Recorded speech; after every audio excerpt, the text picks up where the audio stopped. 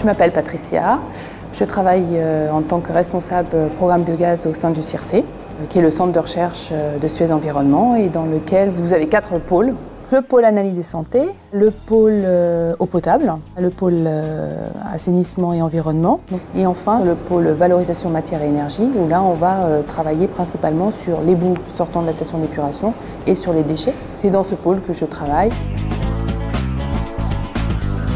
Donc l'idée en fait c'est de transformer euh, toute la matière organique qui peut être présente à la fois dans les déchets mais qui peut être aussi présente dans nos bouts de station d'épuration en énergie.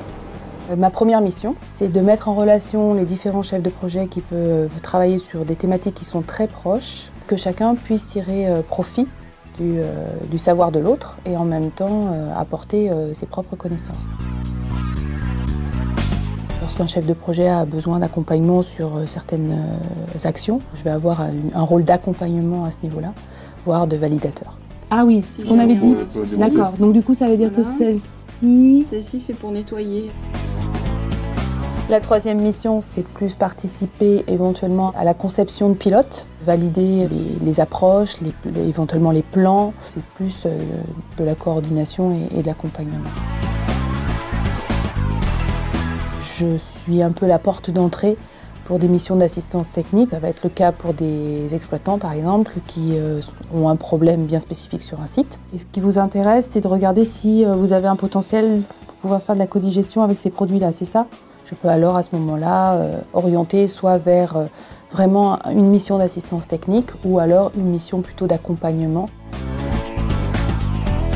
La dernière mission, c'est principalement tout ce qui va être valorisation des résultats du programme biogaz. Il y a une certaine communication qui doit être faite pour pouvoir mettre en place des plaquettes, euh, des interventions bien spécifiques où on va montrer notre savoir-faire. Il faut être vraiment euh, très euh, réactif, très moteur pour réussir à faire délier les langues, euh, parce qu'il y a du savoir-faire, parce qu'il y a de la connaissance et que c'est pas toujours simple de partager. La possibilité de travailler avec des universitaires, avec des gens extérieurs, apporte d'autres éléments importants. Donc là, c'est des moments d'échange qui sont vraiment très très euh, fructueux. Donc pour intégrer le CIRC, un jeune ingénieur sorti de l'école peut euh, prétendre à un poste de, chef de projet. Le chef de projet va pouvoir évoluer soit vers un poste euh, un peu plus à responsabilité en recherche et développement, ou alors euh, vers l'assistance technique, ou alors aussi euh, partir vers l'extérieur, vers les filières hein, tout simplement, et être, devenir exploitant, opérateur commercial suivant ses affinités.